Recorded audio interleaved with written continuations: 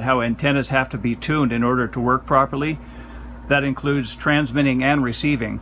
And I did a little demonstration where I showed how I can transmit on a particular frequency and only one of these antennas will light up an LED in the center here.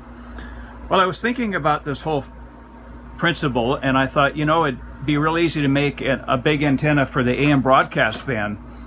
And I began wondering, well, what, what length elements would I have to have if I were to build an antenna that would be resonant on the frequency of uh, 1.270 kilohertz. And uh, that's one of our local radio stations fairly close to here. All over the grass here.